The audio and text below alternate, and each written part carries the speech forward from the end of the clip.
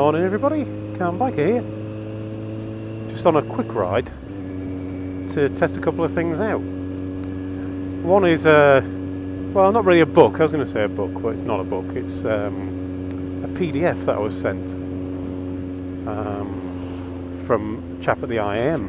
It's sent out to all of us just to have a look through. And it was a it's a, a, booklet, if you like, called Full Control. I don't know if you've heard of it. Um, and it's all about the physics of motorbikes and how to get the best out of your steering and all that kind of stuff. And I realise I've kind of got to the point of doing all of my steering subconsciously, so I thought I might give it a whirl. Mud.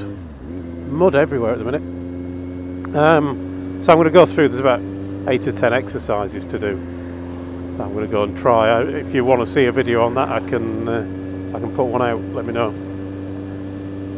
Um, I'll probably record it anyway, just in case somebody's interested. Knowing me, I'll probably put it out there anyway because I'm like that. I always do videos, don't I?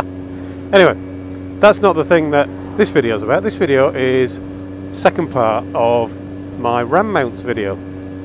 So this is the first time I've been riding with a ram mount attached to my bike there it is with something in it in this case an old iPhone picked my old one because I didn't want to uh, break break a good phone if this one breaks I'll be a bit disappointed because I use it to control my exercise bike but um, I won't be as disappointed or upset as I would be if I broke my uh, my main phone because well, I broke the glass on that before and it was 200 odd quid to get it fixed. So I don't know what it would be like to drop it off a bike at 60 miles an hour or so. So the mount is now on and working. You can see I've mounted it just uh, just there, just on my right bar where I put the uh, little ball last time.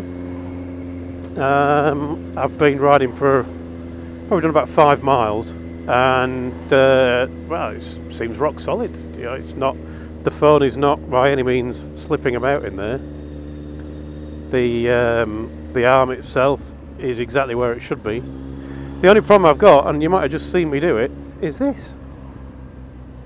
It's got this kind of 30 degrees of movement in the arm itself. Now I can see a benefit to that because the um, because of the way the arm is made, it's in these two halves that obviously bolt together around the two balls. Because of that, there is a restriction to exactly what angles you can use. It's not 360 degrees in every direction kind of thing. There is a limit because if you imagine that the, at the minute the slot is vertical here, if I was to turn it round 90 degrees, nod to the learner, do I get nod back? Nope. Misery. They don't teach you anything nowadays, do they? um, yeah, if I was if I turn that 90 degrees, you can't then tilt it forwards and backwards because that slot is not in the right direction. So you've, you've got complete movement, but you have got a heck of a lot of angles that you can get it to. If I want to bring the sat nav that I've got here, the phone I've got here, left a bit, I can take it left a little bit, but then this slot gets in the way, this bit here and the arm starts to foul it. And if I turn the whole arm 90 degrees and twist it that way, the phone is pointing upwards, not towards me, which makes it a bit awkward because every time you got a sat nav instruction, you have to kind of go, oh yeah. so, not perfect.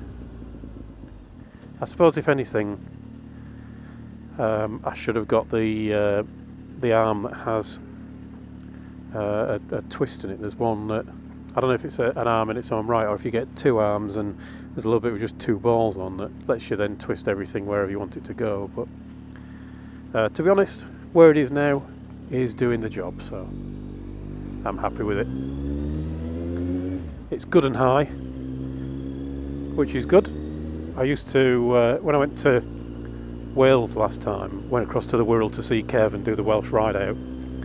I had a sat nav and I had my bag that I use as a tail pack most of the time, I had here. And I had a sat nav in the top pocket because it's got a pocket for a map or a sat nav.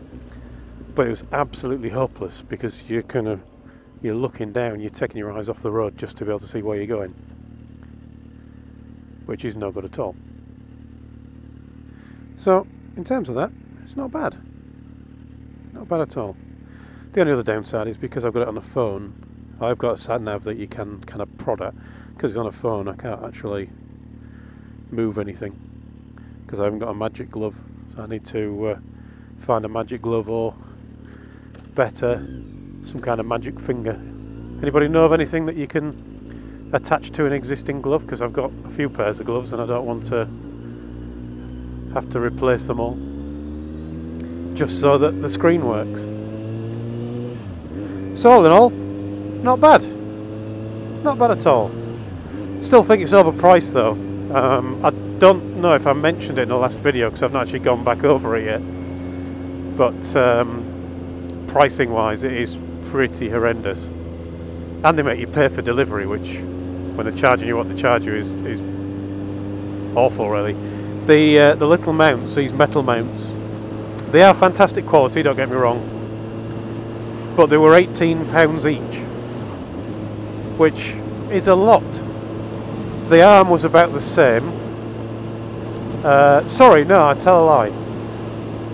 No, the arm was about eighteen pounds. The mounts were about twelve pounds each. Um, so between the the mounts and the arms uh, was about forty-four pounds. If my maths hasn't failed me today. And then the X mount or the X grip, X grip, I must remember to call it that um, it did say on it.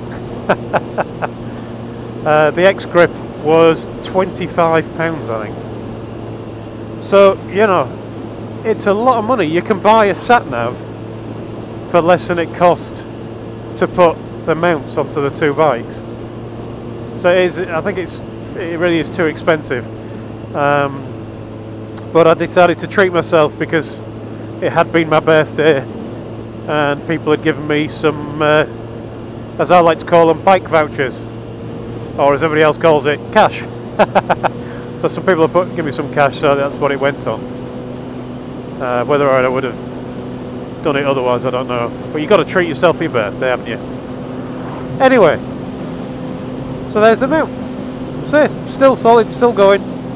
Tapping the phone at uh, 55 miles an hour. Very, very silly. but it, it's doing the job.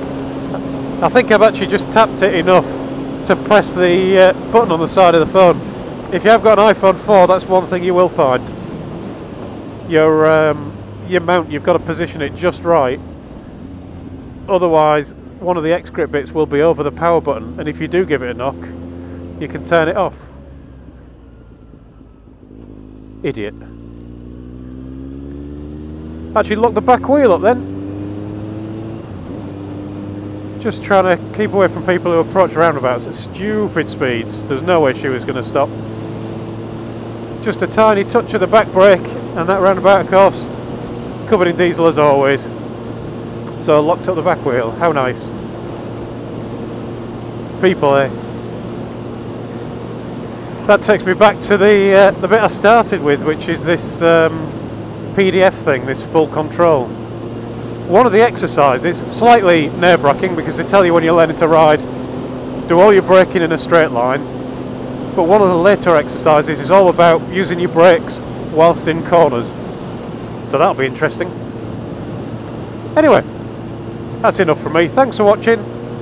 Ride safe everyone, and I'll talk to you all again soon.